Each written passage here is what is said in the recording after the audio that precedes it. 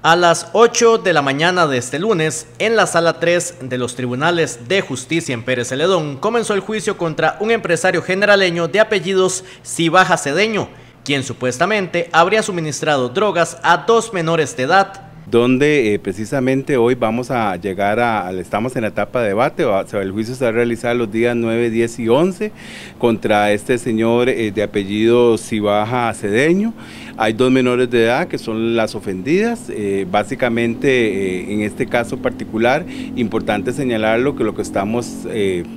acusando es la posesión, la tenencia y el suministro de droga a menores de edad, en este caso son menores de 14 y 15 años respectivamente.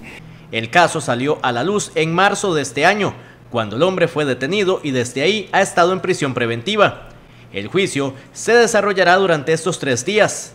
Ya los jueces van a determinar durante su deliberación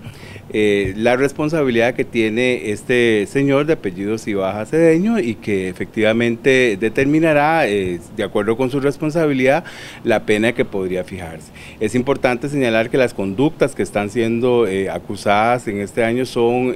para este caso, son agravadas y determinan en ese sentido una pena que puede ir de los 8 a los 20 años de prisión por cada uno de los delitos, porque son dos ofendidas, por los que se le está acusando. En horas de la mañana de este lunes se escuchó a una de las testigos.